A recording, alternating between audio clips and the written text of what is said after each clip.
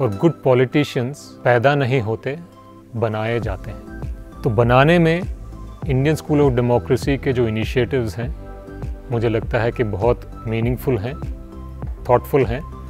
और उम्मीद है कि इम्पैक्टफुल भी रहेंगे